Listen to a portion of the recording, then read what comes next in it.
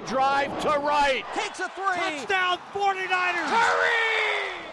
Yeah, it's great to have those. Um, everybody feels good after a win like that, and especially after a tough one last night. Um, you know, a couple of plays that really hurt us, and you know, be able to bounce back and uh, play a really crisp game tonight. That was great for our guys.